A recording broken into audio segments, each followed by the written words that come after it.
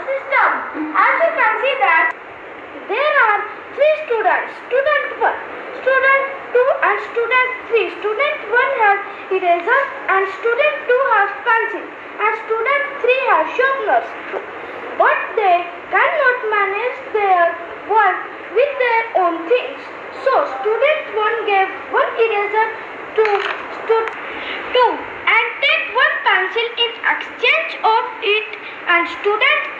3 have gave one sharpener to student 1 and take one eraser in exchange of it.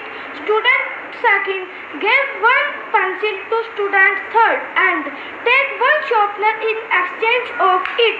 In this way, they exchanged their things according to their needs. This type of exchange system is known as barter system. Thank you, ma'am.